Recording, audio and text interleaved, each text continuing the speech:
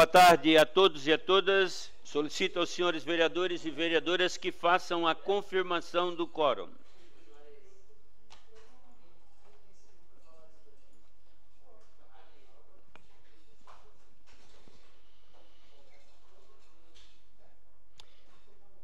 Havendo quórum regimental e sob a proteção de Deus, iniciamos trabalhos da presente sessão.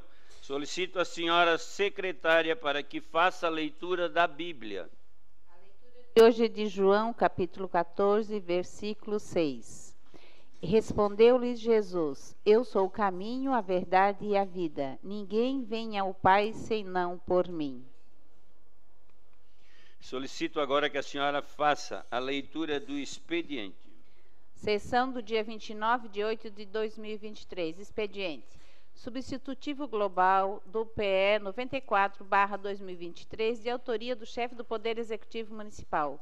Projetos de lei complementar números PLC EXE 32, 33, 34, 35, 36, 37, 38 e 39/2023, de autoria do chefe do Poder Executivo. Projeto de Lei PL 79/2023 de autoria do vereador Manuel Rosengue da Silva.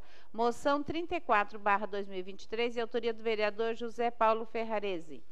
Requerimento 536/2023 de autoria do vereador Daniel Frederico Antunes. Requerimentos números 537, 538, 539, 540 e 541/2023 de autoria do vereador Nicola Martins.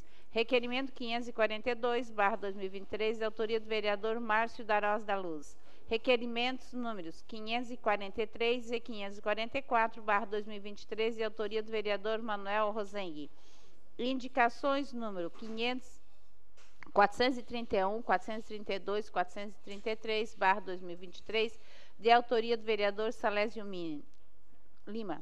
Indicações número 434 e 435, barra 2023, de autoria do vereador Valmir D'Agostin. Terminado o expediente, passamos para o horário político. Com a palavra, o vereador Obadias Benones da Silva. Declina com a palavra a vereadora Giovana Vito Mondado. Ausente. Com a palavra, o vereador Jairo José Casagrande declina com a palavra o vereador Júlio César Kamiski. Declina com a palavra o vereador Manuel Rosengue da Silva.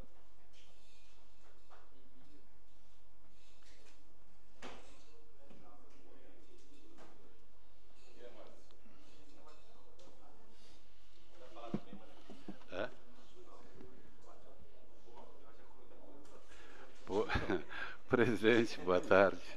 Não, hoje é rápido. É só para lembrar a todos, ah, antes disso, cumprimentar aqui a todos que estão presentes aqui no, nas, nas galerias, pessoal que nos assiste aí pelas redes sociais, colegas vereadores vereadores.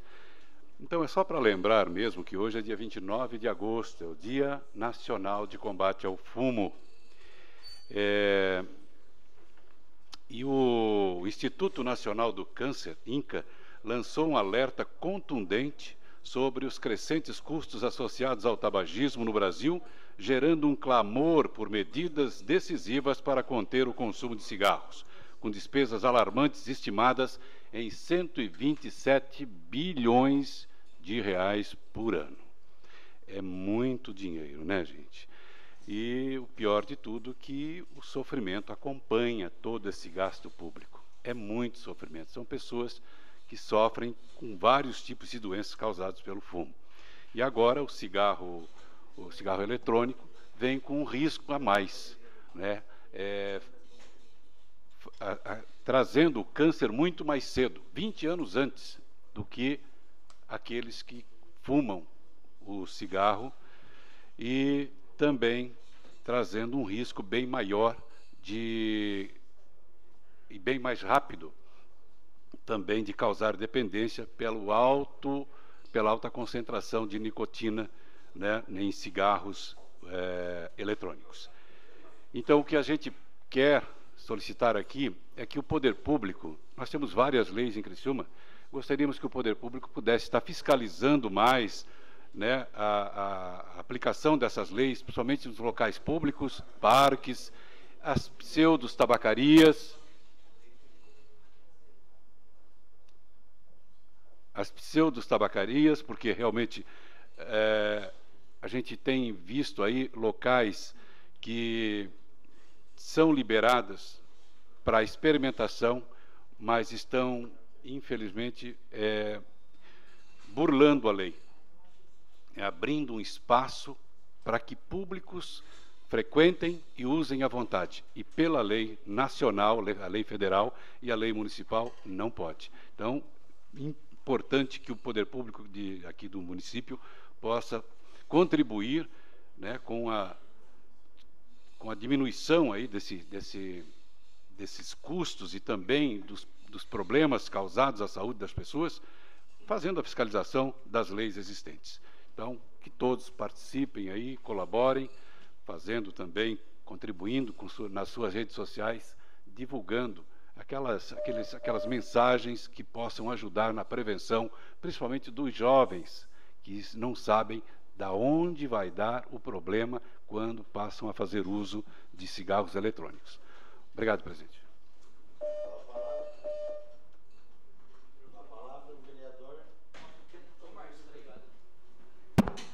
Com a palavra, com o vereador Miri D'Agostin, passo o seu tempo para o pastor Jair Alexandre. Com a palavra, vereador Daniel Frederico Antunes. Declina. Com a palavra, Antônio Manuel. Declina. Com a palavra, o vereador Dailton Feuser.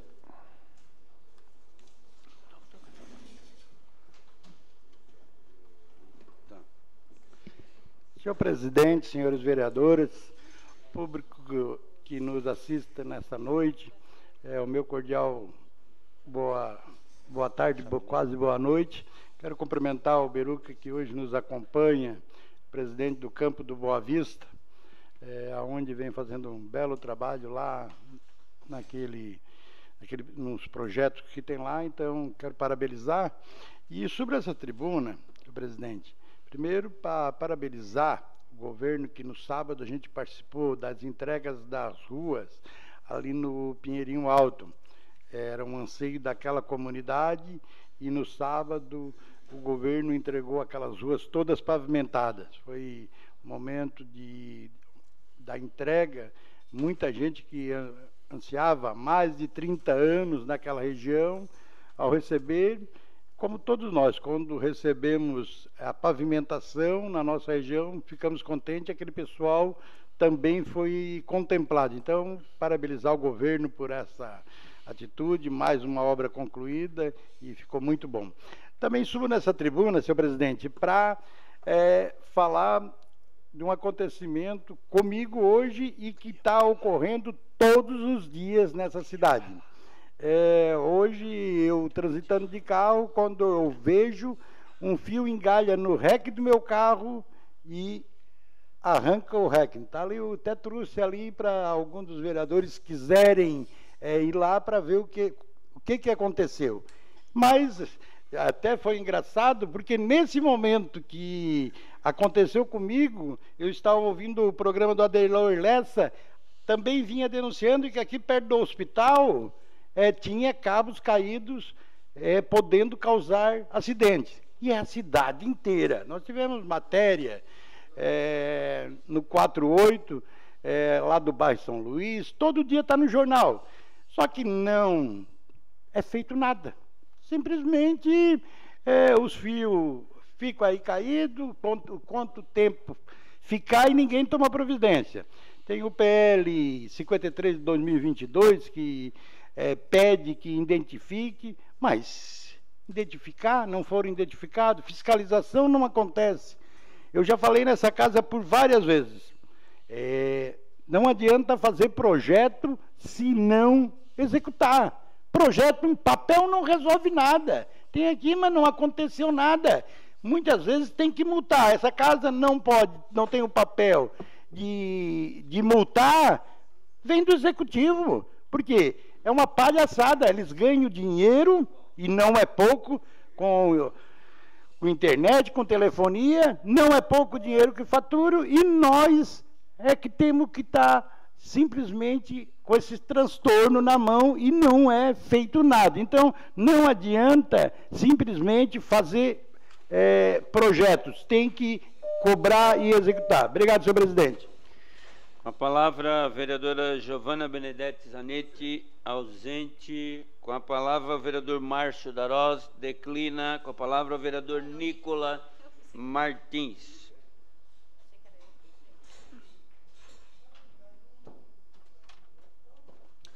Boa tarde, presidente. Boa tarde, colegas. Boa tarde, público que está aqui. Cadê o Marte? Então, o Marte estava ali, o Martinello. Está lá no canto ali, o Martinello, grande liderança do Verdinho, aqui presente. Trocando, trocando uma ideia com o Rob. Gente boa demais. É, presidente, hoje eu venho só destacar, quero que coloque a foto que a equipe encaminhou para a TV, da, da Carolina de Vargas Pires, a Criciumense que fez história nesse último fim de semana, se tornou a primeira atleta criciumense a ser campeã na modalidade de boxe em uma competição internacional. A Carol ela conquistou a medalha de ouro, de ouro representando o Brasil no Mundial Escolar, que teve no Rio de Janeiro, de 19 a 27 de agosto.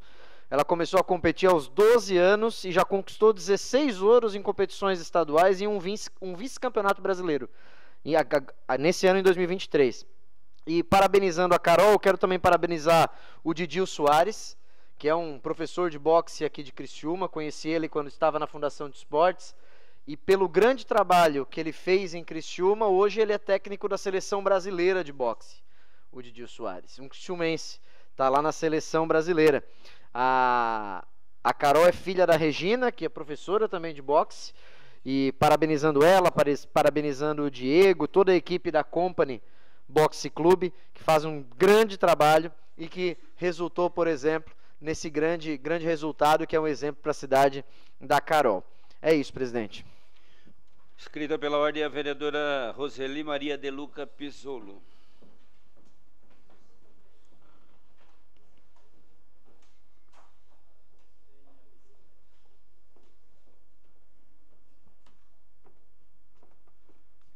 Boa tarde, presidente, membros da mesa, vereadores, vereadoras, todos que nos acompanham pelas redes sociais da Câmara de Vereadores e principalmente pelo pessoal da SAT que está aqui. Eu venho aqui parabenizar a toda a equipe de robótica da SAT, os alunos, professores, é, pela brilhante conquista que vocês tiveram. Na semana passada, eu parabenizei o pessoal da Secretaria de Educação, que também foram classificados para o Nacional.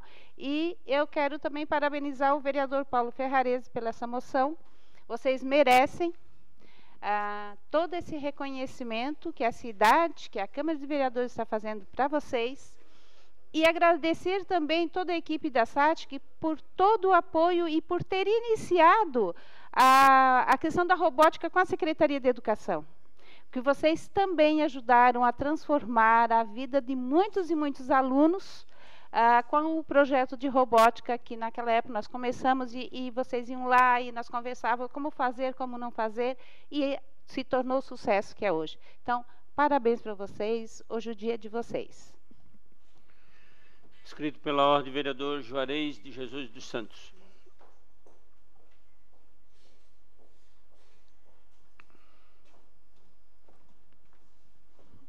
Boa noite, presidente, membros da mesa, vereadores, Martinello, liderança do Verdinho, pessoal da SATIC, Viola, sejam todos bem-vindos. Eu vou fazer uma fala referente a uma situação chata que tem acontecido na nossa cidade. A gente pega aqui a rua Henrique Lage, é assustador, presidente, a quantidade de pinchações que a gente tem visto. Eu não vejo a hora de que a gente saber que, que pegaram esse pessoal que vem fazendo esse de serviço, desembelezando a nossa cidade, em vários pontos. Henrique Laje mesmo é incrível, uma vergonha. Então, é, não sei o que, que acontece, não sei o que, que isso vai se fazer, porque tem câmeras, não sei como é que não consegue botar a mão. E tem que prender, e tem que pegar, comprar uma lata de tinta e botar e lá fazer, pintar, para passar vergonha. Outra situação que a gente não tem falado mais aqui, até porque tem tem está em desenvolvimento ainda, né, o plano de mobilidade urbana. Conversei é, com os vereadores, falaram que agora no final do mês vai ser feita uma audiência pública para trazer as informações sobre o plano e, e há uma expectativa muito grande que a nossa cidade tenha na Avenida Centenário uma ciclovia e um espaço para corrida. Todos os dias, desde de manhã cedo até altas horas da noite, tem atletas ali, pessoal que corre das assessorias, fazendo prática de corrida no, no, no, no canteiro da Centenário, um local perigoso, o amarelinho passa ali, é um local muito perigoso. E o pessoal que corre, o pessoal que anda de bicicleta, tem essa expectativa. A gente não pode parar de falar desse assunto. E eu sei que já é coisa antiga. Né? O vereador Júlio Kaminski falava sobre isso, e outros vereadores é, levantavam essa bandeira da ciclovia na Centenário. A gente já viu esse projeto que a, que a Unesc apresentou para os vereadores, e nós precisamos continuar cobrando. Existe muita gente praticando esporte, tem que ter esse incentivo. A nossa Avenida Centenário precisa de reparos. Já fiz um requerimento aqui para que pudesse fazer uns reparos de forma paliativa, até que fizesse realmente algo bonito, uma ciclovia bacana, mas infelizmente até agora nada. Inclusive tem alguns espaços ali que tampa de, de, de, de caixinha de energia que precisa ser colocado. Então, vamos continuar cobrando. Enquanto eu estiver aqui na Câmara de Vereadores, eu vou continuar cobrando. Espero, é, agora, o ano que vem é ano de eleição, espero que que for candidato a prefeito, não sei se, se o Clésio ainda vai colocar esse, esse projeto em ação, mas que o próximo prefeito pelo menos tenha essa visão de fazer um espaço decente na nossa Avenida Centenário para a prática de, de, de, esporte, tanto a corrida quanto a ciclovia. Era isso, senhor presidente. Escrito pela ordem do vereador Salésio Lima, que passa, passa o meu tempo para a vereadora Giovana Vitor Mondago.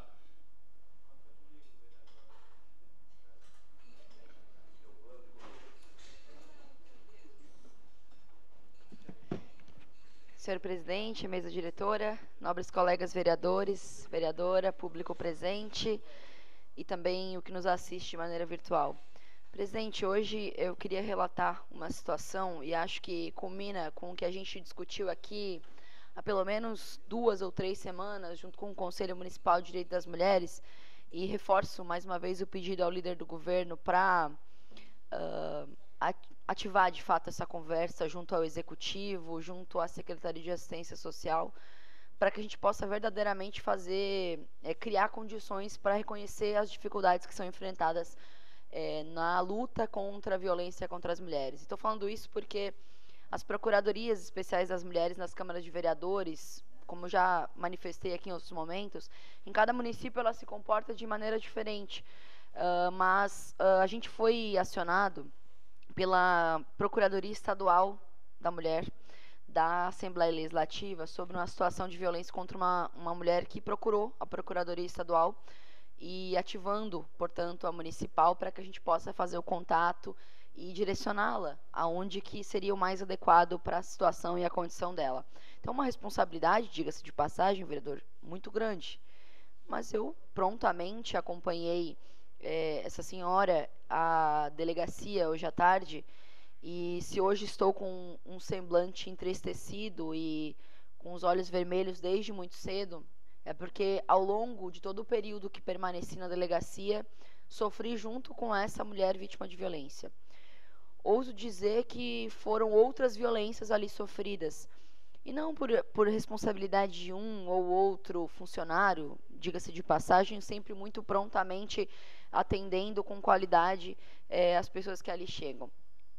Uma estrutura pequena, uma hora de espera, que se eu não estivesse ali, ela me relatou, eu teria desistido e teria ido embora, como eu vi duas mulheres indo embora, desistindo de fazer denúncia de violência contra a mulher.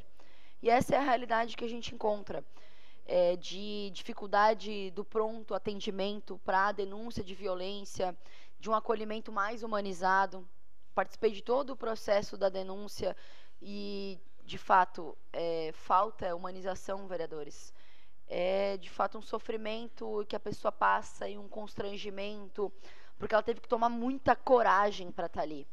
Só quem viveu isso para saber o quanto tem que tirar coragem, não, não se sabe de onde para ir numa delegacia denunciar uma situação de violência que vive em casa e que enfrenta todos os dias na frente dos seus filhos, sabe? Pensando no relacionamento, em tudo que viveu e mesmo ali com uh, a dinâmica de um equipamento público que, em tese, precisa acolher, precisa fazer o direcionamento adequado, a gente sabe que o enfrentamento também está no dia a dia, porque está na dinâmica da vida em sociedade, está na dinâmica da vida de onde ela mora, em qual região do município, qual é o serviço de habitação.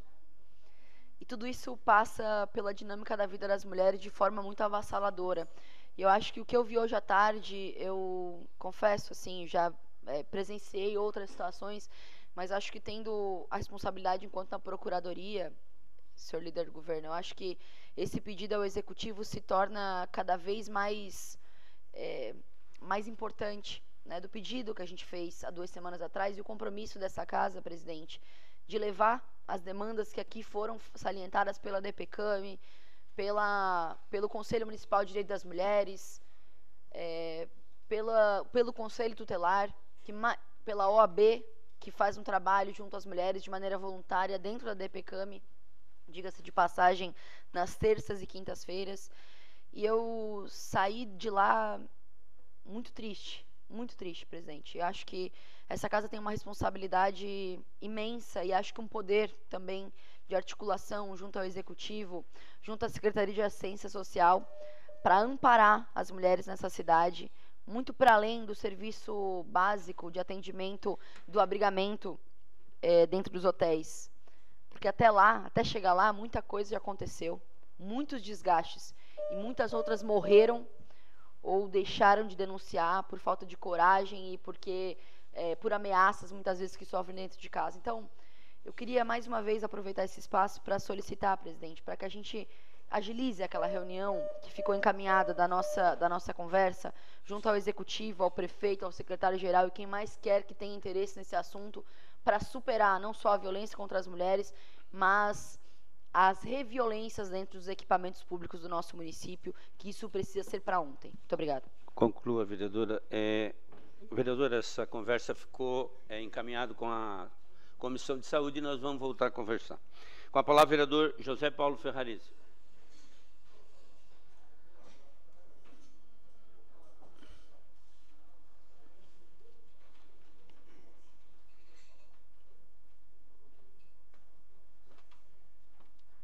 Gostaria de cumprimentar o senhor presidente, senhores vereadores, vereadoras, ao público aqui presente, especial alunos, professores, direção da SATIC, a todos os presentes. Martinello também aqui presente, seja bem-vindo. Vereadores, eu ouvindo o vereador Juarez de Jesus, e é uma proposta que os vereadores vêm discutindo, eu estou aqui há 10 anos e meio, e vereador Juarez, há 10 anos e meio, os vereadores solicitam ciclovia na Avenida Centenário. E, as, e a Unesc é uma entidade, é uma universidade que sempre tem desenhado e muito de forma trazendo ao governo municipal uma proposta e um projeto bonito na ciclovia na parte central da Avenida Centenário. Infelizmente, as coisas não vêm acontecendo. E temos que pensar, vereadores, pensar numa cidade grande, que os nossos visitantes, quando vê lá de fora, encontra aqui na nossa cidade algo diferente. Como encontra os parques na nossa cidade, na Avenida Centenário, encontrar uma grande, uma, uma grande ciclovia que demonstra o desenvolvimento da nossa cidade acabar com esses gargalos na nossa cidade. Essa semana eu vim trazer a minha filha ali na, na SATIC. Desde lá do centrinho da Santa Luzia, a fila estava instalada. Então tem que se pensar isso de imediato. Também, vereadores, se trata muito de emprego e renda na nossa cidade. Ah, está sobrando emprego, mas precisamos qualificar a nossa população, nossos alunos. E aqui olho para esses alunos da SATIC, que nós vamos ter a moção daqui a pouco, mas nos orgulha muito vocês qualificados por mercado de trabalho estão se qualificando, estão levando o nome da nossa cidade. E assim, eu esse é o meu pensamento, vereadores, que nós tenhamos área industrial, às vezes, posso dizer, de forma gratuita, sendo uma contrapartida para os nossos investidores, porque o empresário não vem o, o, o retorno de graça, ele tem que trabalhar, ele tem que pensar, ele tem que investir, ele tem que buscar. E às vezes, quando se tem uma área industrial, é vendida. E lá, nosso vizinho aqui na, na Forquilinha, aqui na Içara, vocês sabem o quanto tem se desenvolvido? Então é importante a nossa cidade, os nossos, nosso prefeito, nossos, nosso comando da nossa cidade pensar um pouco mais sobre o desenvolvimento da nossa cidade. Hoje, o orçamento para 2019, para 2024, é de quase 2 bilhões de reais. Então é importante pensar no desenvolvimento, pensar no crescimento, pensar no futuro da nossa juventude. Obrigado, senhor presidente. Com a palavra, o vereador Jair Augusto Alexandre, que dispõe o tempo do vereador Miri D'Agostin. Valmir.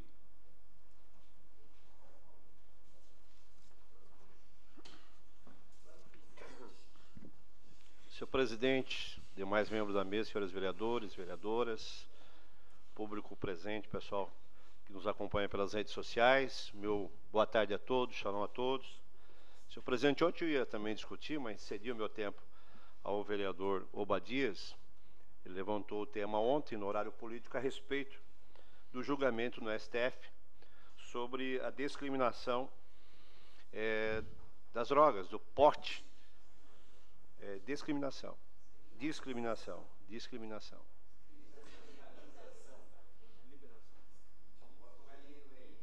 Discriminação. É. Exatamente. É, na verdade, é deixar de ser crime, né? E, e eu fico indignado com esse tipo de, de julgamento que é que questão de liberação, liberar as drogas é, na nação brasileira, do porte da maconha. E ontem, nesse, nessa semana, o, o ministro André Mendonça, que é pastor da igreja presbiteriana, que é ministro lá, ele pediu vista. Né? Graças a Deus por isso, porque estava já no, no, no quinto voto, e se fizer a maioria lá, Infelizmente, esse tipo de, de, de, de, de processo que chegou no, no, STF lá, a respeito é, do porte da maconha, senhor presidente, deveria estar na Câmara Federal, deveria estar no Congresso Nacional, sendo discutido justamente pelos representantes do povo que foram eleitos, que são os deputados federais, né, chegar lá na, na, no Senado da República com os senadores que foram eleitos, não os ministros do STF, que são uma indicação do presidente, né, do então presidente, dos presidentes que se passaram aí pela República, uma indicação. Né, e tem todos assuntos para ser é, para ser discutido em processo no STF, justamente um assunto tão importante para nós, principalmente para aqueles que lutam contra uh, as drogas na nação brasileira. Né? Eu, eu, eu, sou um dos fundadores ali que mantém um trabalho no, de recuperação dos dependentes químicos lá no Verdinho, onde nesses sete anos já se passou ali mais de 800 que estavam internados ali, boa parte desses, graças a Deus, se recuperaram. Então a gente luta contra as drogas. Aí vem o STF, os ministros, justamente numa canetada, justamente cinco votos a favor, um contra, e o pastor André Mendonça, graças a Deus, né, pediu vista, quer dizer, temos aí 90 dias para verificação, para entrar na pauta novamente. Então, é, é uma situação assim triste para a nação, porque é vergonhoso se chegar a esse ponto de liberar o porte da maconha, das drogas no Brasil. É vergonhoso para o Brasil. é vergonhoso para nós brasileiros, né? É, a gente que luta, que é procurado por uma mãe, por um pai desesperado, né? Quando tem um filho nas drogas, é, desespero. Era para mim até colocar um vídeo hoje de uma mãe segurando o filho, né? Segurando o filho para não deixar o filho voltar para as drogas junto ali a outros que estavam naquele canteiro de droga lá na Cracolândia, seu presidente, ela segurava, apertava, chorava, pelo amor de Deus, meu filho, não vá. E ela chorava ali com aquele, com aquela, com aquele filho que não era uma criança, já era um, um moço de vinte e poucos anos de idade, mas é mãe, coração de mãe, o filho nunca envelhece, sempre vai ser um menino e menina, né? E, e aí você vê um, um, um julgamento desse, né? um processamento desse, que, meu Deus, envergonha, envergonha a nação brasileira. Então, gostaria de colocar cedo uma parte ao vereador Nicola. O som. Vereador Jair, o senhor traz essa, essa discussão e é extremamente importante fazer essa discussão dos limites do judiciário em relação ao legislativo. Hoje mesmo eu vi uma entrevista do presidente do Senado, Rodrigo Pacheco, em que ele fala: ah, mas o judiciário, eh, essa questão vai ser, defin... vai ser definida pelo legislativo, não vai ser pelo judiciário. Mas esse ativismo do judiciário é culpa dele. É culpa do Senado, é culpa da Câmara que não se posicionam e, não de... e, e deixam isso acontecer. Então o senhor traz essa discussão e realmente essa questão é questão de legislativo. A gente tem que fazer com que o nosso Estado tenha esses três poderes que vêm lá de Montesquieu muito claros: é executivo, legislativo e judiciário. Exatamente. Então, senhor presidente, até hoje é um dia especial, hoje é um dia é, nacional de combate ao tabagismo, ao fumo, né?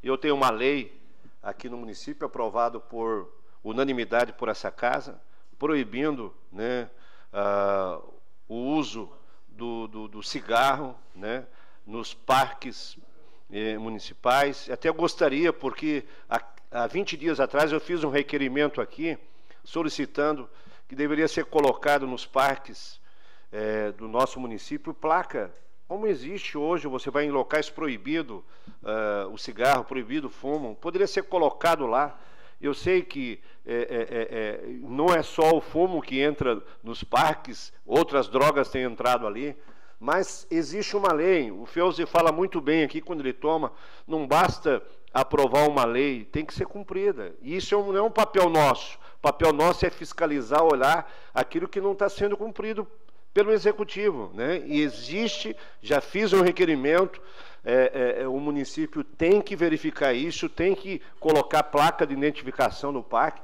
para que não ocorra isso, senão não adianta nós aprovarmos leis aqui e não, não ser cumprido. Não adianta em nada. E eu concordo com o que o Feuser, o vereador Feuser, tem colocado aqui. Então, as nossas leis aprovadas, sancionadas pelo próprio prefeito, tem que ser cumprido no município, tem que colocar lei nos nossos parques, até porque, como tenho falado, os parques é um lugar de saúde. Né? Obrigado, senhor presidente. Terminado o horário político, passamos para o grande expediente. Solicito aos senhores vereadores e vereadoras que façam a confirmação do quórum. Questão de ordem cedida ao líder do governo, o vereador Antônio Manuel.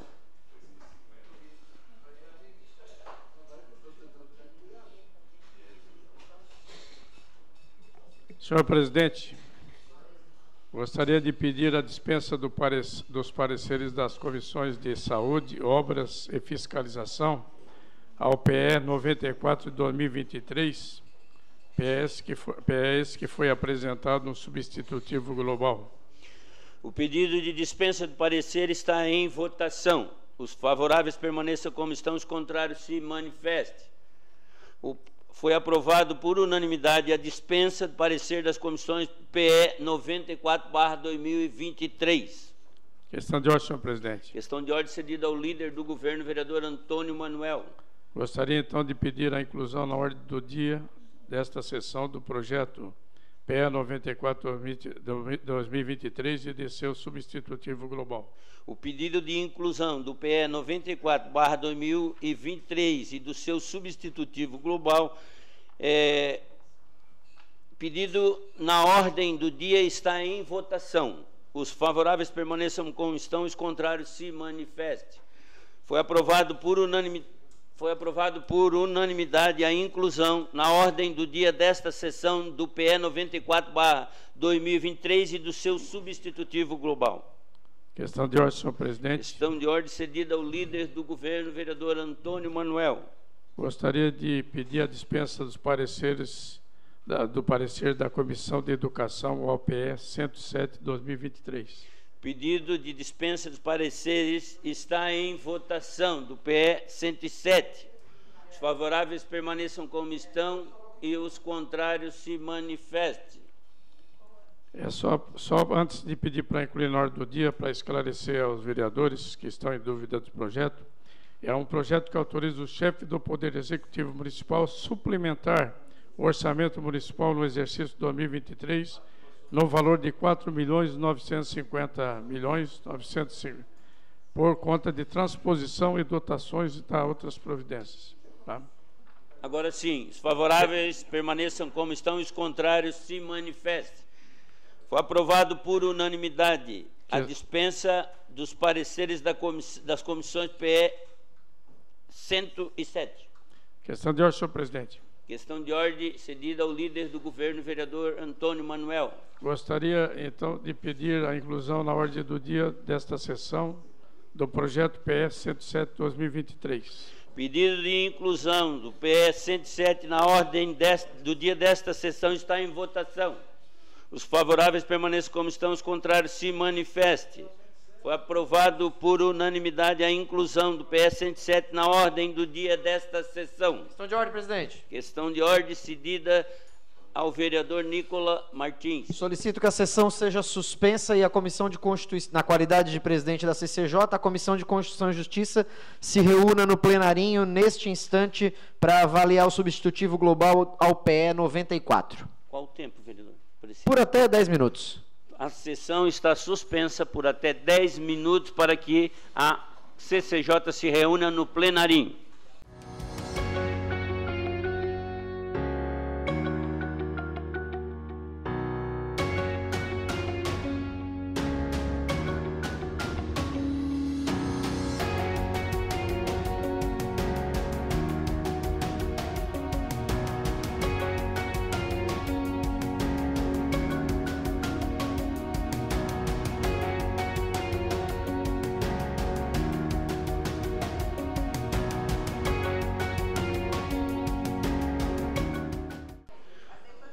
Reabertos os trabalhos.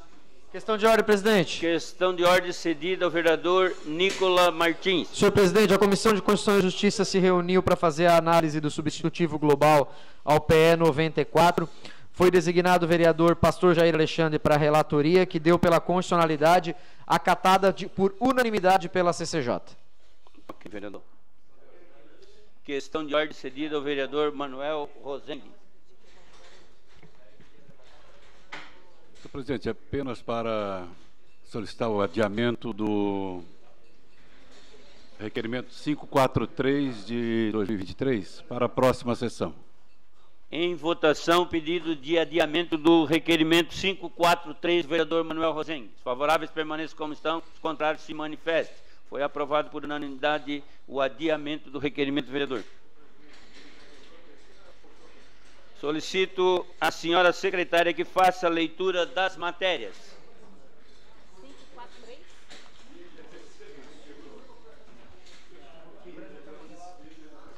Grande expediente.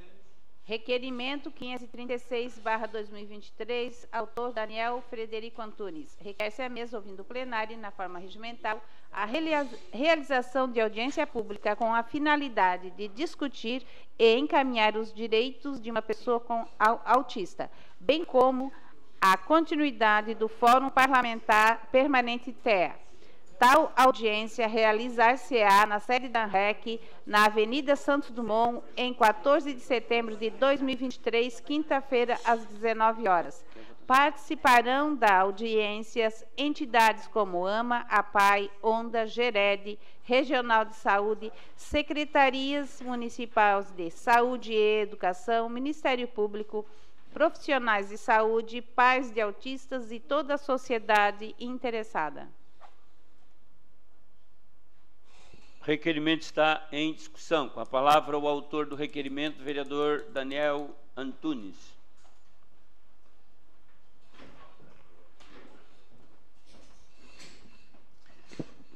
Boa noite, senhor presidente. Desculpa.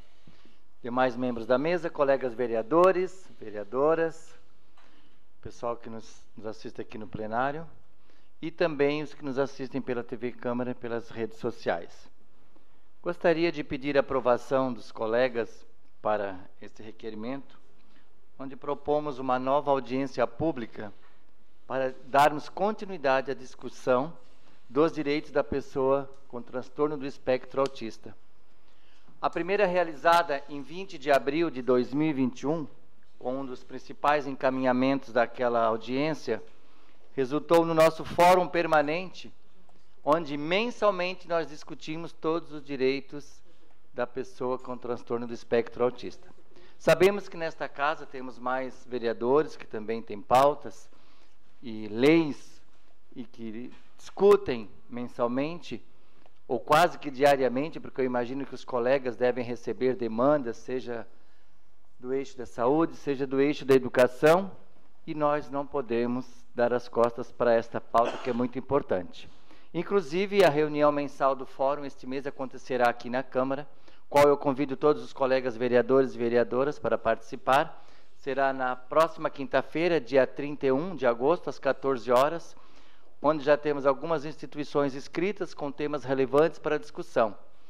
E a audiência pública, então estare, estaremos chamando novamente a sociedade, principalmente os pais, onde tem é, enfrentado essa situação crescente, onde sabemos também que a grande dificuldade para que possam ter os, os laudos fechados da, do, do TEA é a, os profissionais com especialidade, né, os neuropediatras, que fecham o laudo, para que assim então possa, juntamente às instituições de educação, é, ter os seus direitos garantidos. E para isso eu peço então a aprovação desse requerimento. Obrigado, presidente.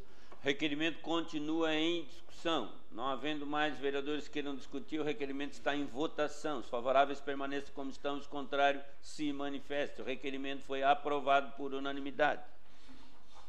Indicação 431-2023, autor Salésio Lima. Repintura das sinalizações horizontais de trânsito localizada nas ruas Placidina Inácia Fernandes, Adelma Rodrigues, Brás Cardoso Fernandes, 3 de Maio e Cláudio da Silveira Alves, bairro Santa Luzia. Indicação 432-2023, autor Salésio Lima. Reparos na pavimentação asfáltica da rua José Pazini, de frente ao imóvel número 45, bairro São Defende. Requerimento 537-2023, autor Nicola Martins. Envio de expediente ao chefe do Poder Executivo Municipal, verificando a possibilidade do Poder Executivo realizar estudos acerca da alocação de uma lombada física ou eletrônica na rodovia Antônio Daró, sentido Criciúma e Sara, anterior à entrada do condomínio Bem Vivere a demanda se justifica a fim de facilitar a entrada e saída dos veículos do condomínio, com segurança, já que o condomínio possui um número expressivo de moradores, consequentemente, um alto fluxo de veículos. Ressalta que, no sentido Içara-Criciúma, há uma lombada eletrônica, necessitando a instalação de equipamento no sentido oposto, para que ambos os sentidos sejam contemplados. Solicita ainda a possibilidade de estudos acerca da criação de uma faixa elevada de travessia de pedestre. Considerando que o ponto de ônibus é ao lado oposto da via, a demanda é necessária a fim de garantir a segurança, em especial de crianças e adolescentes, que utilizam o transporte público para seu deslocamento. Destaca ainda que, sobre as demandas, há um protocolo aberto no município de Criciúma desde setembro de 2022, sob o número único 180.4 QD.661T 87, sendo que o cidadão tenha obtido resposta. Requer... Sem que o cidadão tenha obtido resposta. Requerimento está em discussão. Com a palavra o autor do requerimento, vereador Nicola Martins. Senhor presidente, este e o próximo requerimento dizem respeito à mesma rodovia, Antônio Darós, que é o anel viário, ali no, no bairro São João, pessoal do condomínio Bem Viver, que faz recentemente foi inaugurado, alguns anos foi inaugurado, e, e os dois requerimentos dizem respeito a protocolos já realizados junto à ouvidoria. Junto à ouvidoria. Né? Então, isso já foi feito com a ouvidoria. Já foi falado dessas situações. Um em setembro de 2022, o outro em fevereiro de 2022. O pior, o ruim não é não ter sido realizado o pedido deles. Ruim é eles não ter, terem tido nem resposta desse protocolo. Então, a gente faz esse requerimento e faço questão de destacar o número do protocolo para mostrar que estão sendo feitos pedidos à prefeitura, estão sendo feitos encaminhamentos pelo, pelo espaço correto e não estão sendo dados nem resposta para o cidadão. Requerimento continua em discussão. Não havendo mais vereadores que queiram discutir, o requerimento está em votação. Favoráveis permaneça como estão, os contrários se manifestem. Requerimento foi aprovado por unanimidade. Requerimento 538-2023, autor Nicola Martins. Envio de expediente ao chefe do Poder Executivo Municipal, questionando se há previsão na substituição, manutenção ou ampliação da iluminação pública na rodovia Antônio Darós, bairro São João, nas proximidades do condomínio residencial Bem Vivere. A demanda é necessária para garantir a segurança dos condôminos e para dar maior visibilidade na entrada e saída de veículos. Garante ainda a segurança de pedestres e ciclistas que transitam pelo local. Ressalta que, sobre a tal demanda, há um protocolo aberto no município de Criciúma desde fevereiro de 2022, sob o número único de 89C.674.07B-2A, sem que o cidadão tenha obtido resposta. O requerimento está em discussão. Não havendo quem queira discutir, o requerimento está em votação. Os favoráveis permaneçam como estão e os contrários se manifestem. Requerimento foi aprovado por unanimidade. Requerimento 539-2023, autor Nicola Martins. Envio de expediente ao chefe do Poder Executivo Municipal, solicitando-se a possibilidade do município, por meio da Diretoria de Trânsito e Transporte DTT, confeccionar um adesivo a ser colado nos automóveis dos motoristas com idade superior a 60 anos, de distribuição gratuita para os motoristas que quiserem essa identificação. O adesivo é uma forma de conscientizar e informar os demais motoristas acerca da idade do condutor à sua frente, gerando mais empatia no trânsito da cidade. Requerimento está em discussão. Com a palavra o autor do requerimento, vereador Nicola Martins. Senhor presidente, vereador Miri, que falou que gostou da ideia. Então, vereadores, a, essa situação aqui eu recebi de uma de uma fisioterapeuta que trabalha com a terceira idade e ela disse para mim que diminui, né, os reflexos, a pessoa mais idosa diminui o reflexo, é, mas ela quer dirigir, ela quer estar tá participando do, do, dia a dia da sociedade, ela quer estar tá atuando, ela quer estar tá dirigindo, quer estar tá na rua, né? E muitas vezes as outras pessoas não têm tanta paciência, não têm tanta empatia para com essas pessoas. E outras cidades já fizeram isso. A própria diretoria de trânsito cria um adesivo que pode ser colado na parte de trás do carro, para que o motorista que está vindo atrás saiba que aquele que está dirigindo o carro da frente é uma pessoa de acima de 60 anos. E cria um pouco mais de empatia também. Né? Acho que todos nós já passamos por algum momento que dissemos, ah, tá, tá muito devagar, muito devagar. Aí quando passa o carro, olha ali, é, uma, é um idoso. E aí, ah, não precisava ter ficado tão brabo assim desse jeito, né? É simples, é uma, uma medida simples que eu peço para a DTT fazer, como muitas cidades já fizeram. Requerimento continua em discussão. Não havendo mais quem queira discutir, o requerimento está em votação. Os favoráveis permaneçam como estão, os contrários se manifestem. Requerimento foi aprovado por unanimidade. Requerimento 540-2023, autor Nicola Martins. Envio expediente à Associação Feminina de Assistente Social de Criciúma, a FASC, questionando se a entidade possui profissional especialista em gerontologia em seu quadro de profissionais. Caso não tenha, há previsão da entidade contar com um profissional de tal especialidade? O requerimento está em discussão. Não havendo quem queira discutir, o requerimento está em votação. Os favoráveis permaneçam como estão, os contrários se manifestem. O requerimento foi aprovado por unanimidade. Requerimento 541-2023, autor Nicola Martins. Envio de expediente ao chefe do Poder Executivo Municipal solicitando informações de como é estruturada no município de Criciúma a política acerca de doença de Alzheimer, enquanto prevenção e tratamento da doença. Requerimento está em discussão. Não havendo quem queira discutir, o requerimento está em votação. Os favoráveis permaneçam como estão, os contrários se manifestem. Requerimento foi aprovado por unanimidade. Indicação 433-2023, autor Salésio Lima. Reparos na pavimentação com lajotas na rua Libera Zanete Meler, de frente aos imóveis, de número 55 e 145, bairro São Defende. Indicação 434-2023, autor Valmir D'Agostin. Aplicação de ampliação do estacionamento no CEIM Casemiro Potricos, localizado no loteamento Marli, bairro Argentina. Indicação 435-2023, autor Valmir D'Agostin. Reparos na pavimentação com lajotas na rua Tamoio, localizada no loteamento Bittencourt, bairro Argentina. Requerimento 542-2023, autor Márcio Daroz da Luz.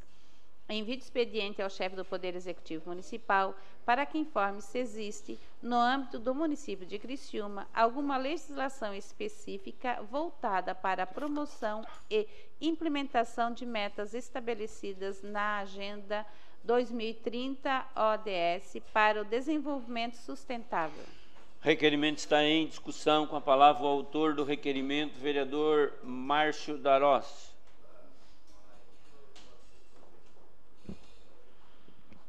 Senhor presidente, colegas vereadores da mesa diretora, colegas vereadores e vereadoras, ao público que nos assiste, em especial hoje a equipe de robótica da SAT que estão de parabéns. Então, senhor presidente, esse requerimento eu pergunto ao governo do município, porque a gente observa que o governo executivo ele vem aplicando sim muitas metas, alguns segmentos já da, das ODS, e a gente vê uma dificuldade até das próprias empresas é, que já utilizam as ODS é, da nossa cidade aqui, ou quem nos procura perguntando se o município ele já está adotando e tendo é, o compromisso junto com a Agenda 2030, né? Então a gente provoca o município justamente para que ele esteja de, desenvolvendo alguma ferramenta especial e mostrando. A gente vê muitas ações do município até com é, o próprio fazenda fotovoltaica, que é uma questão da, da transição das energias sustentáveis que a nossa cidade vem fazendo, várias outras ações e muitas e muitas ações que o município já vem praticando e a gente é, não consegue acompanhar é, esses, essas ações. Então a gente é, provoca sim o município que, que mande para essa casa uma lei e que a gente consiga ter um segmento, porque a transição energética que está acontecendo e as discussões que estão acontecendo em nosso país, principalmente em nossa região, a gente já poderíamos estar mais avançado, é, acredito, nessa questão aí é, da conscientização e da renovação energética que a gente precisa, não só é, da transição energética, mas de toda a sustentabilidade é, do nosso planeta. Muito obrigado. O requerimento continua em discussão. Não havendo mais vereadores que queiram discutir, o requerimento está em votação. Favoráveis permaneçam como estão, os contrários se manifestem. Requerimento foi aprovado por unanimidade. Requerimento 544-2023, autor Manuel Rosengue da Silva. Envio de expediente ao chefe do Poder Executivo Municipal, questionando se existe a possibilidade da permissão para transportarem, devidamente acondicionados e em horários específicos, os animais nos meios de transportes coletivos urbanos, sem custo às empresas ou ao poder público. Tal questionamento se dá em atenção aos tutores, protetores independentes de animais, principalmente cães e gatos segue anexo projeto de lei como sugestão. Caso tal questão seja possível, caso negativo, o que impede? O requerimento está em discussão. Não havendo quem queira discutir, requerimento está em votação. Favoráveis permaneçam como estão, os contrários se manifeste. O requerimento foi aprovado por unanimidade. Terminado o grande expediente, passamos para a ordem do dia. Solicito aos senhores vereadores e vereadoras que façam a confirmação do quórum.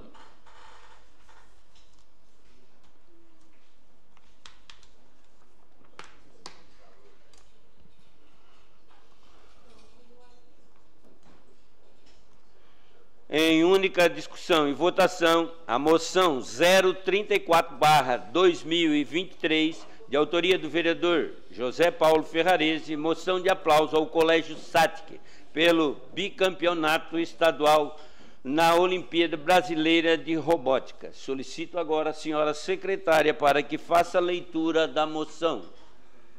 Moção número 34, barra 2023. Senhor, excelentíssimo senhor presidente, senhores e senhoras, vereadores e vereadoras.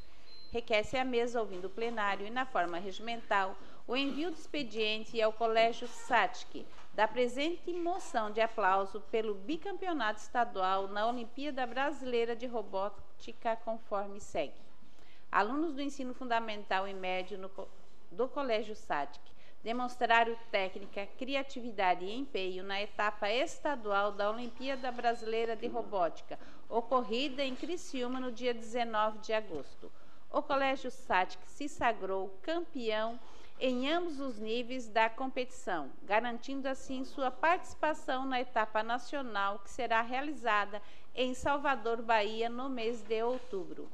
O evento reuniu equipes de todo o estado de Santa Catarina e foi realizado pela terceira vez em Criciúma, superando expectativas tanto na qualidade dos robôs apresentados quanto na energia e integração entre os participantes. A Olimpíada Brasileira de Robótica compreende modalidades práticas e teóricas, incentivando o uso dos conhecimentos científicos e tecnológicos pelos estudantes e promovendo o pensamento lógico. Os vencedores do nível 1 foram Arthur Lúcio Save, Enzo Martins Coelho, Vinícius Silveira de Souza e Marcos Vinícius Faraco Guidim Borges. No nível 2, para os alunos do ensino médio, os vencedores da SATIC foram Gabriel dos Santos, Vitor Tinelli, Matheus Carminati e Miguel Teixeira Corali. Caroli, aliás.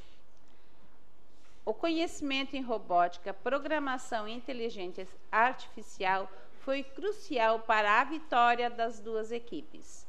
Na competição, os alunos enfrentaram o desafio de desenvolver um robô autônomo seguidor de linha capaz de identificar falhas no percurso, retomar o projeto e resgatar vítimas.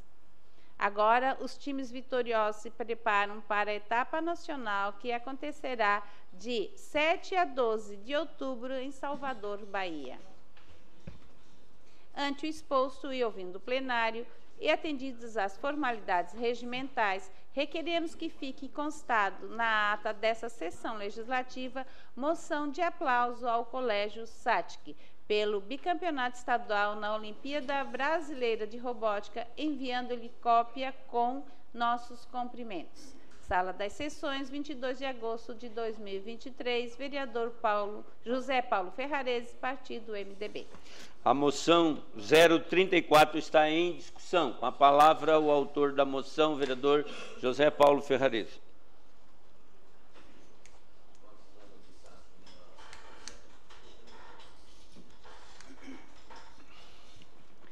Senhor presidente, senhores vereadores, vereadoras, ao público aqui presente, é uma grande satisfação homenagear esses meninos que levaram o nome da nossa cidade, levam o nome da nossa cidade, do, do Colégio SATIC, desenvolvendo um bom trabalho juntamente com a Isis Esther Machado Beloli, diretora do Colégio SATIC, a qual gostaria de cumprimentar, o João Mota, coordenador do Departamento de Automoção e Mecânica da Unisatic, Andréia Scarduelli, coordenadora de, de tecnologias aplicadas da SATIC, o Guilherme Cardoso Cruz, professor de tec tecnologia aplicadas da SATIC, aos alunos, nível 1,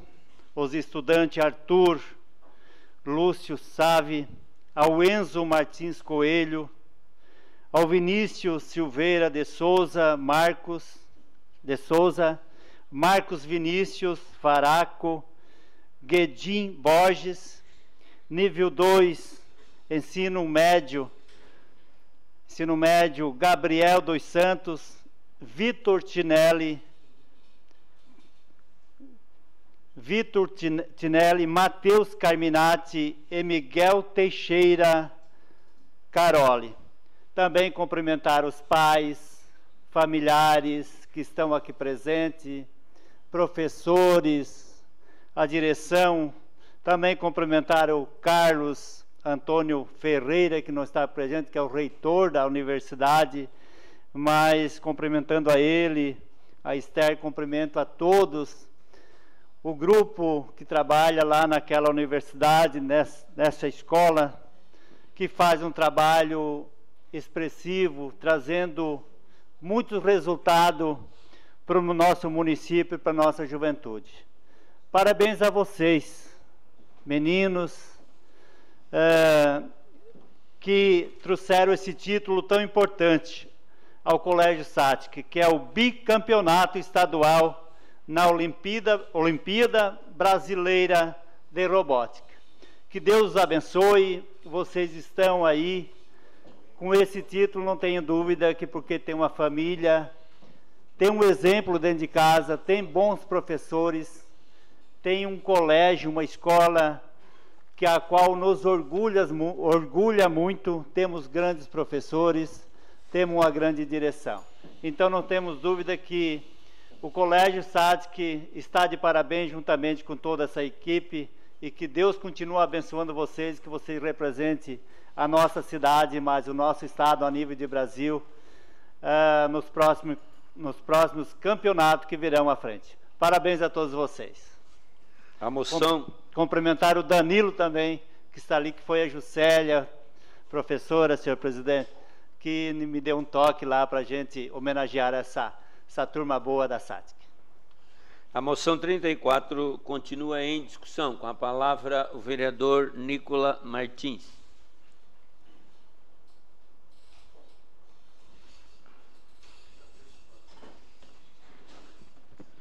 Presidente, colegas, times aqui presentes, né? Professora Mota, Isis, Garça, Guilherme Cardoso Cruz. Se vocês não sabiam, o apelido dele é Garça, tá? O professor de vocês. Conheço há alguns anos o Guilherme e, e ele se dedica demais, presidente, demais, demais, demais ao trabalho, a, a ajudar o Enzo, o Arthur, o Vinícius, o Marcos Vinícius, o Gabriel, o Vitor, o Matheus, o Miguel e tantos e tantos outros que praticam robótica e que fazem a diferença nesse meio, no meio da inovação. Eu costumo muito, presidente, visitar as empresas de inovação aqui de Criciúma e ando circulando por, pelas empresas de inovação e fazendo um quadro no meu Instagram que é o Criciúma da Inovação. É visitando as empresas, mostrando para o Criciúmense as empresas que nós temos de inovação aqui em Criciúma. E quando eu converso com os CEOs, com os donos dessas empresas, eles sempre dizem que uma das grandes necessidades de Criciúma é mão de obra qualificada. É a qualificação dessa mão de obra para atuar na área da inovação, atuar na área da tecnologia. E nós precisamos qualificar essa mão de obra. E o trabalho que é desenvolvido na SATIC e nas escolas do município também, que tem um trabalho nesse sentido, vai fazer a diferença lá na frente. É pensar a médio e longo prazo. E vocês que hoje estão vencendo a Olimpíada Brasileira, que vão agora participar da etapa em Salvador, início do mês de outubro, vocês vão se apaixonar, é uma cidade maravilhosa, Salvador, e vocês estão nesse caminho. Vocês podem ter certeza, hoje com 12, 11, 13, 13 anos, 14, 15 talvez, vocês talvez ainda não tenham noção do quanto esse momento e o aprendizado que vocês estão tendo agora, o quanto isso vai fazer diferença na vida profissional de vocês. Vocês podem achar que vocês sabem qual é a diferença que vai fazer, mas vocês ainda não sabem. Então se dediquem, mesmo sem saber o que vai acontecer, se dediquem mesmo. Vocês têm um grande professor, vocês têm uma grande instituição apoiando vocês, dando muito apoio, e vocês vão longe. Pode ter certeza disso. Obrigado, presidente. Moção 34 continua em discussão com a palavra a vereadora Giovana Benedetti Zanetti.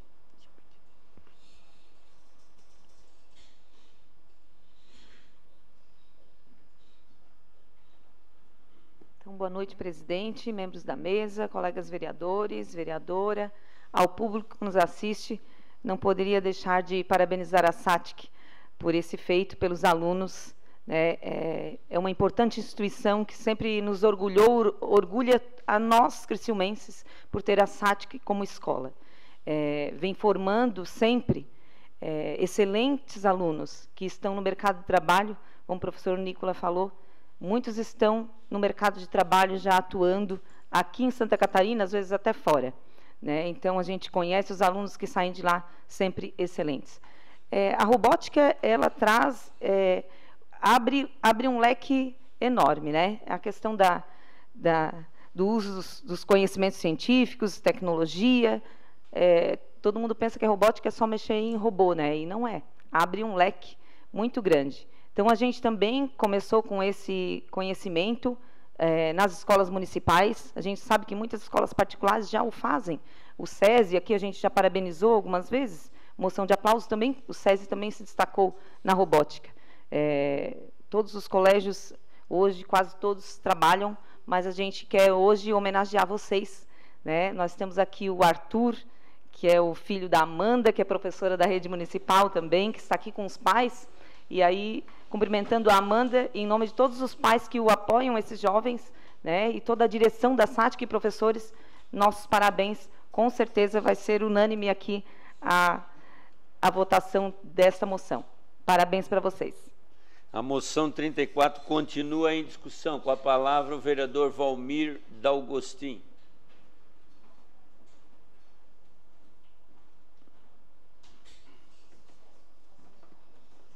Senhor presidente, novos vereadores, a equipe, a família da SAT aqui presente, eu me lembro muito bem, em 1978, quando iniciei nas empresas Eliane, lá já tinha profissionais da SAT. Então, vendo, acompanhando, tive o prazer de estar, ser secretário de Educação do município de Criciúma, e aonde a robótica era gerenciada pela SATIC. Todo o contrato que a Badeus tem, o SESI, é a SATIC que gerencia. Então, você vê o tamanho da importância dessa escola. Estive em Medellín, acompanhado da vereadora Roseli, e lá em Medellín tinha profissionais da SATIC. A VEG tem uma empresa lá com mais de 80 funcionários, e lá tinha alunos da SATIC. Então a gente vê o tamanho da importância dessa escola na cidade. Tive também fazendo a visita com o deputado Pepe Colasso, na SATIC, e a gente vê aquelas incubadoras que lá tem, que realmente faz as empresas que tem lá, tem a Embralite, várias delas, vereador Toninho, lá que tem as incubadoras para que é, ideias, onde faz a formação de ideias, né, e com certeza cada vez mais essa SAT que vem se transformando uma mão de obra qualificada e queremos com certeza aplaudir nesse momento ao vereador Paulo Ferrarese por fazer essa moção de aplauso e estarmos juntos. Que o município de Criciúma, com certeza, deve muito também à SATIC pela formação de mão de obra qualificada, e eu que defendo bastante a geração de emprego e renda, e todas as empresas nossas aqui têm profissionais da SATIC. Então, parabéns a todos os alunos, os professores, essa família SATIC, né, que se faz papel brilhante para a nossa cidade. A moção 34 continua em discussão. Não havendo mais vereadores que queiram discutir, a moção está em votação. Votação liberada.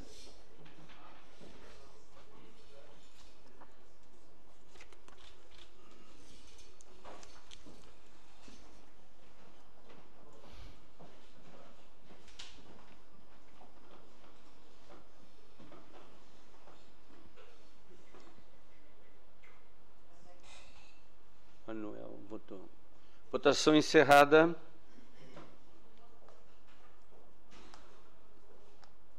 Moção foi aprovada por unanimidade. Parabéns à SATIC e aos alunos.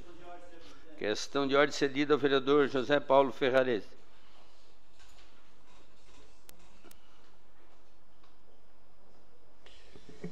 Senhor presidente, senhores vereadores, gostaria de convidá-lo para, após o final da sessão, fazer a entrega da moção aos alunos da SATIC, também daí convidar todos vocês a entrarem aqui no plenário para a entrega dessa moção. Obrigado, senhor presidente. Ok, vereador, será atendido. Em única discussão e votação, o projeto de lei número PE 094-2023, de autoria do chefe do Poder Executivo Municipal, que altera o dispositivo da Lei Complementar número 12 barra 1999 e da outras providências. A Comissão de Constituição, Justiça e Redação opinou pela legalidade e constitucionalidade e encaminhou as comissões demais. Das demais comissões, a Comissão de Educação opinou pela aprovação. Foi apresentado um substitutivo global nesta data, nesta sessão. A comissão CCJ se reuniu e opinou pela legalidade do substitutivo global. O substitutivo global do projeto está em discussão, não havendo quem queira. Com a palavra a vereadora Giovana Vito Mondardo. Quase que passou. Senhor presidente, nobres colegas, acho que é de nossa responsabilidade uh, discutir esse assunto que está nessa casa tramitando há um certo tempo, né? Acho que já dá para dizer que quase um mês, né? E claro, no prazo regimental, passando pelas comissões, com muita discussão e ouvindo também os interessados. E hoje estava ouvindo, estava lendo o jornal, presidente, e acessei uma coluna do, do jornalista Denis Luciano, que disse ali o acúmulo das derrotas que os servidores, aliás, que os trabalhadores e trabalhadoras desse município, do serviço público, tiveram ao longo dos últimos anos. O fim da regência de classe, é, a insalubridade, o 4%, aquele fatídico de um mês atrás, mais ou menos. E mais recentemente, posso dizer que desse projeto que urge a necessidade de nos posicionarmos, o fim da representação dos trabalhadores nos sindicatos. E falo fim porque ninguém trabalha de graça, nem o prefeito, nem nós. Eu acho que é da dinâmica do dia a dia compreender e passar para a população que está nos assistindo por que eu votarei contra esse projeto e é minha responsabilidade me posicionar a respeito. Eu tenho um lado, desde que esse projeto chegou, eu já tinha uma posição muito esclarecida sobre o assunto independente, inclusive, do substitutivo global, que agora permite, pelo menos, que o tempo em que esses servidores poderão estar trabalhando pelo sindicato voluntariamente, porque esse projeto prevê o fim do pagamento através da prefeitura, do executivo, da liberação que a gente chama dos sindicatos, do sindicato dos servidores públicos do município.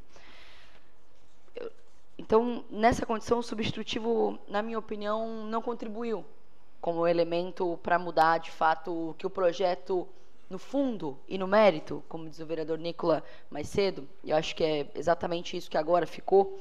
Antes era, uma, era além do mérito, uma injustiça. Agora é o mérito.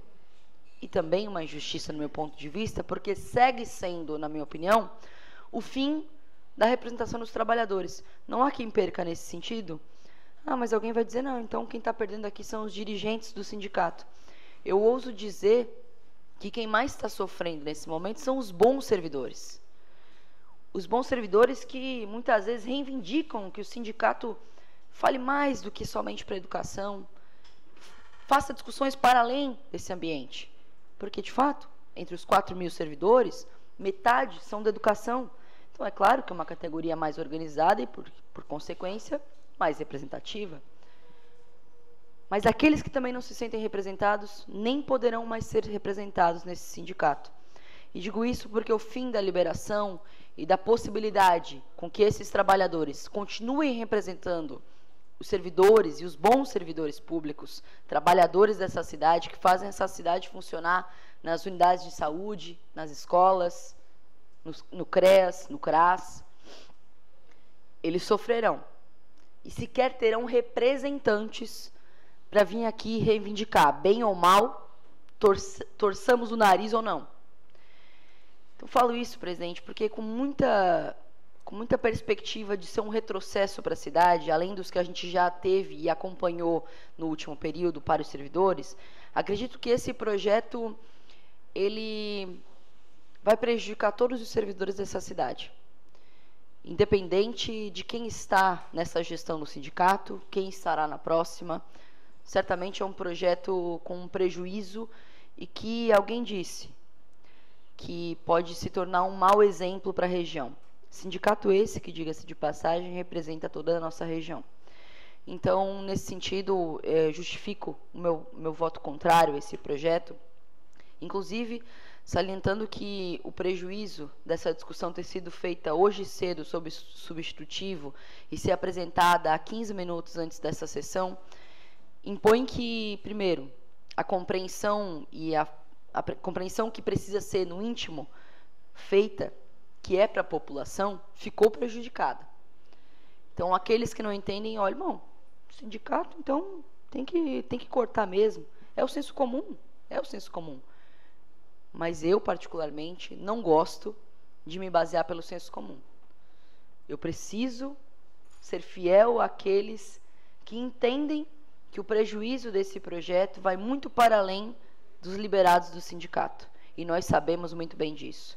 Diga-se de passagem, os sindicatos patronais, os sindicatos de outras categorias que não do serviço público têm liberação, recebem para trabalhar, como todos os outros.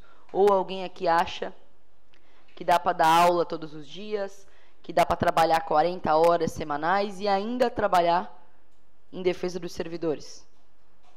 Que ainda dá para fazer as articulações necessárias que são feitas. Ora, se com liberação já tivemos os retrocessos que tivemos, que eu falei pelo menos só três aqui, mais recente, imagine sem essa liberação de possibilidade de subsistência. Essa preocupação vem com essa, de fato, com essa reivindicação junto a outros sindicatos de outras categorias que não do serviço público do município, que tiveram essa casa nas últimas sessões. Ontem, semana passada, na outra semana, e acho que daqui em diante será de uma responsabilidade, talvez nossa, certamente, de tentar amenizar com esse substitutivo, mas que no fim, ao fim e ao cabo, como dizem, ficou a mesma coisa. Então, votarei contrária com muita tranquilidade sobre esse projeto e sem medo da opinião pública. Obrigado. O substitutivo global do projeto continua em discussão. Com a palavra, o vereador líder do governo, Antônio Manuel.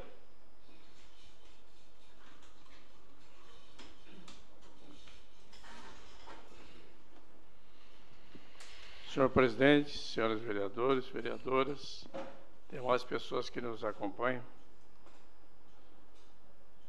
Como bem colocou aqui a vereadora Giovana Mondardo, esse projeto aí já está tramitando há um certo tempo. Nós chegamos a discutir ele, buscando uma alternativa de mudança, coisa parecida. Mas aqui eu quero dizer que muito sindicato que esteve aqui nesta casa, ele paga aquele aquela pessoa que lá presta serviço para eles. Um exemplo é o sindicato dos da Construção Civil Itaci de Sá, no qual eu faço parte e como associado. Os trabalhadores que representam o sindicato da Embralite são pagos pela Embralite, mas eles trabalham na Embralite, representando o sindicato. E aqueles que estão lá prestando serviço no sindicato é pago pela categoria, pelo sindicato. O porquê isso? Porque a partir do momento que um sindicalista é pago pelo patrão, vem a dúvida. Ele está defendendo o trabalhador? Não pode estar comprometido com o patrão? Pode acontecer isso.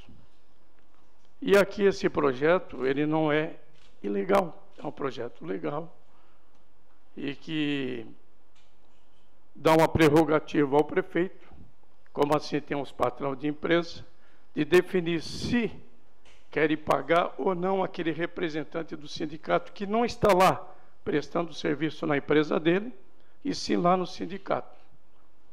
Porque esse funcionário do sindicato, dos, do nosso sindicato servidor público, ele é pago pelo cidadão cristiumense. E o cidadão cristiumense, ele quer uma explicação sobre isso, porque se muito segmento sindical não tem isso daí, por que tendo serviço, servidor público?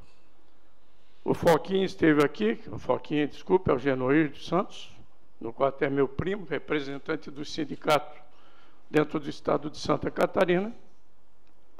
Ele entende que o projeto é legal e que ele, como dizer, ele, a gente está fazendo a parte da gente de vir buscar uma alternativa, mas que vocês não estão errados em votar a favor do projeto, não estão. Levei o Arindo Rocha, representando todo o segmento sindical, para conversar com o nosso prefeito, Clécio Salvar, e lá ele foi bem taxativo. É, prefeito, se você entende, é, eu vim aqui porque eu estou representando um segmento, e, mas eu entendo que no meu, lá, lá em Maracajá, quando o prefeito, ele pagava, o, o sindicato, ele não pagava também. O sindicato é que era comprometido e pagava os funcionários que lá prestavam serviço ao sindicato. Então, é um projeto que realmente, claro, que as pessoas que lá estavam hoje se sentem prejudicadas, mas nós entendemos que é um projeto que não é ilegal, é um projeto que, que realmente ele vem agora a, a definir, até porque é, muitos sindicatos dizem assim, ah, nós não temos estrutura. Mas eu quero, acho que a, a vereadora Giovana fez uma colocação que é muito correta, quando ela disse que a preocupação não pode ser só para um segmento. O sindicato ele tem que trabalhar para uma categoria ampla, coletiva, no sentido de atender toda a demanda do município, no caso, servidor público.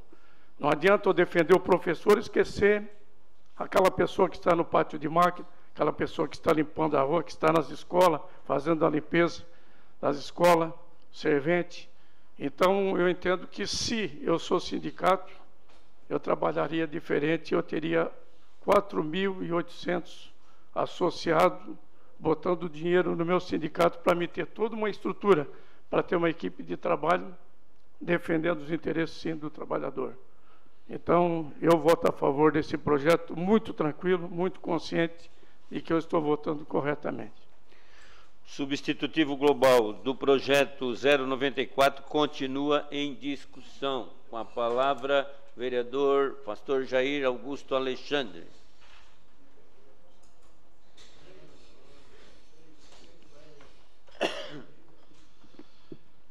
Senhor presidente, demais vereadores,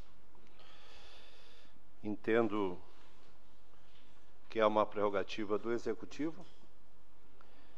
Nós analisamos pela CCJ, faço parte, nós entendemos que é legal, tanto o início quanto esse substitutivo que veio é, nessa tarde. Entendo que existe mais de 4 mil funcionários. Uma das coisas louváveis, louvável pelo ex-presidente da República, Michel Temer, foi aquele projeto de lei da reforma trabalhista, que deixa de ser obrigatório a cobrança do imposto sindical, passa a ser facultativo. Hoje nós temos mais de 4 mil funcionários em nosso município. Cabe ao sindicato, então, é, fazer esse contato, ter esse carisma, mostrar, é, como foi falado aqui, da importância da representação deles, né, quanto sindicato, mostrar a importância deles lá em defesa dos funcionários. Cabe eles convencer os associar, se associar né, ao sindicato e fazer o desconto em folha, né? Fazer o desconto lá, fazer o pagamento, né? Aí vai ter uma receita, né? Hoje já existe uma receita do sindicato, é o que a gente está aprovando nessa tarde, é justamente é, a licença deles, se querem cumprir o mandato como presidente lá do sindicato ou de federação, mas que possam exercer sem remuneração paga pelo município, ou então retornem às suas atribuições né, ao concurso público e desempenhem a função, como citou aqui o vereador Toninho, né, a respeito do sindica, sindicalista lá que existe lá, que trabalha e cumpre o seu papel dentro do sindicato. Então, dito isso, senhor presidente, eu sou a favor, desde o início, desse projeto de lei. Vou votar favorável, porque entendo o sindicato tem a sua importância, tem, mas também não é justo o, o município de Criciúma marcar hoje com todas as a, a remuneração dos sindicalistas, sabendo que o, o, sindicato também ele atua na região, nos demais municípios, né? Como foi explicado aqui pelo líder do governo. Então, sou favorável a este projeto de lei, senhor presidente. Substitutivo global do projeto 094 continua em discussão. Com a palavra o vereador Nicola Martins.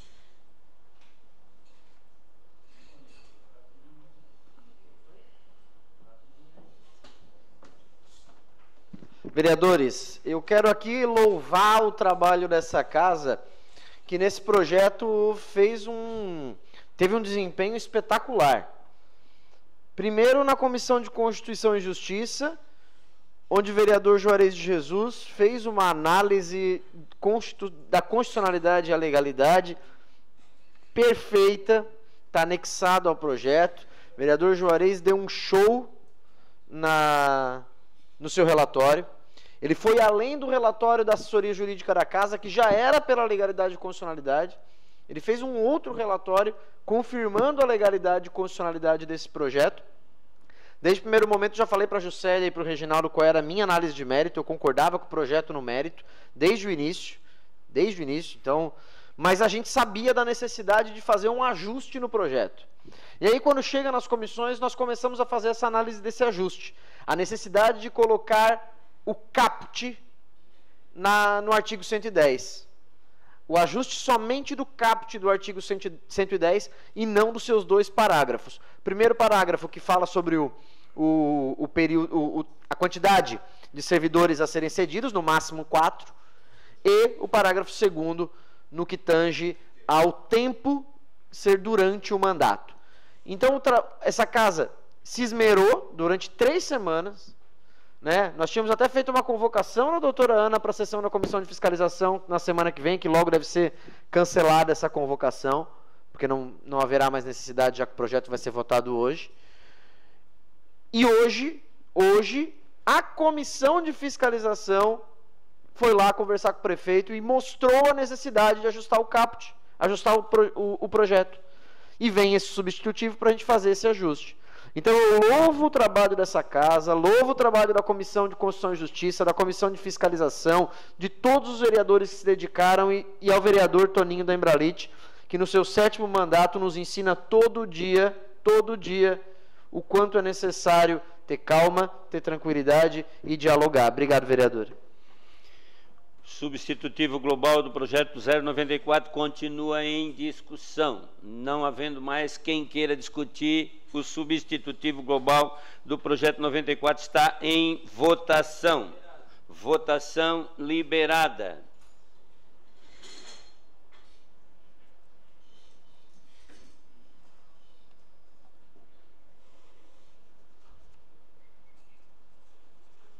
Votação encerrada.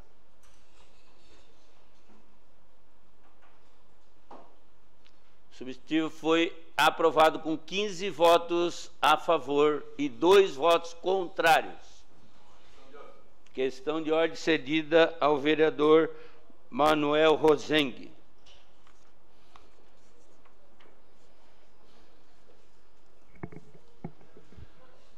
Senhor presidente, eu peço que seja encaminhado um ofício à Procuradoria do município é, cancelando a convocação feita para que viesse a esta casa, mais precisamente a, a Comissão de Orçamento e Fiscalização, para esclarecer sobre o projeto. Como está sendo montado hoje, não é mais necessidade. Ok, vereador, será atendido de plano. Questão de ordem cedida ao vereador Juarez de Jesus dos Santos. Presidente, a minha questão de ordem é só para informar que amanhã, às seis da manhã, nós estaremos indo a Florianópolis com a Câmara Mirim, né, os nossos vereadores Mirim, é, em visita ao Museu de Florianópolis, visita na Assembleia Legislativa, visita à Câmara de Florianópolis. Obrigado já desde já, presidente, né, por ter é, feito todo é, as agendas e também vai estar com a gente é, nesse passeio. Obrigado. Vamos acompanhar. Vereador coordenador da Câmara Mirim, da Câmara de Criciúma em única discussão. Em votação, projeto de lei PE 103/2023, de autoria do chefe do Poder Executivo, que autoriza o Poder Executivo a permitir o uso de bem público pela Associação de Moradores do bairro Cidade Mineira Velha e promorar um e dar outras providências. A Comissão de Constituição, Justiça e Redação opinou pela legalidade e constitucionalidade e encaminhou ao plenário. O projeto está em discussão. Não havendo quem queira discutir, o projeto está em votação. Votação liberada.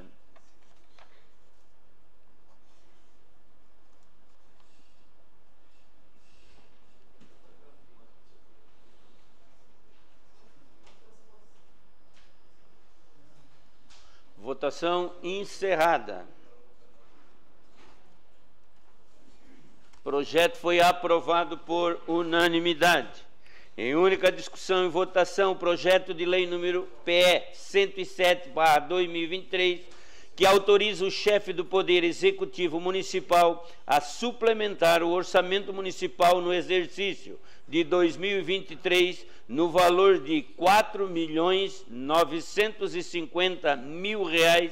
milhões 950 mil reais por conta de transposição de dotações e da outras providências. A Comissão de Constituição, Justiça e Redação opinou pela legalidade e constitucionalidade e encaminhou à Comissão de Fiscalização e Educação. A Comissão de Fiscalização opinou pela aprovação. O projeto está em discussão. Não havendo quem queira discutir, o projeto está em votação. Votação liberada.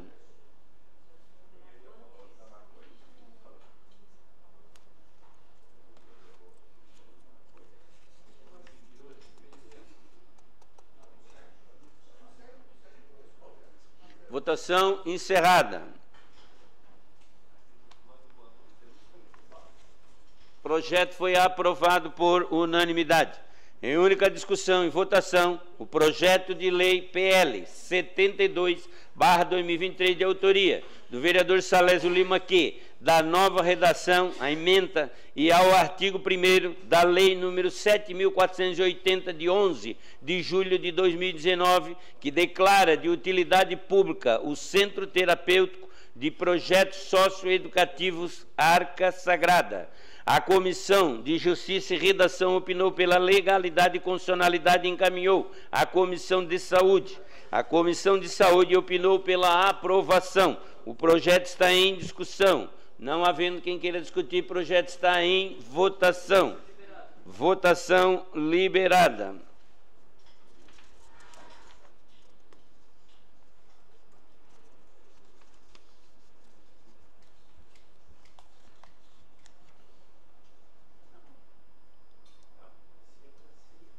Votação encerrada.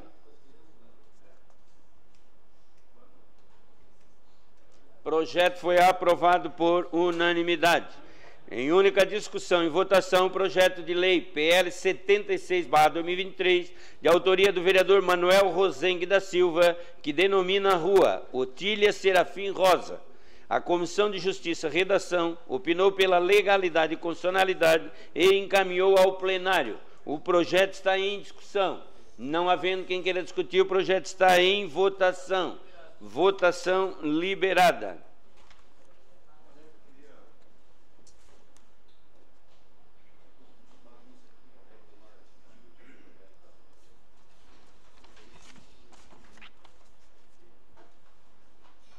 Votação encerrada.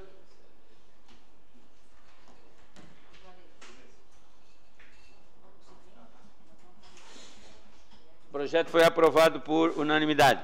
Terminada a ordem do dia e não havendo mais nada a tratar, encerramos os trabalhos da presente sessão, convocando os senhores vereadores e vereadoras para a próxima sessão ordinária que ocorrerá no dia 4 de setembro, segunda-feira, no horário regimental. Uma boa noite a todos e a todas. E convido então a SATIC para que adentre ao plenário que possamos entregar a moção.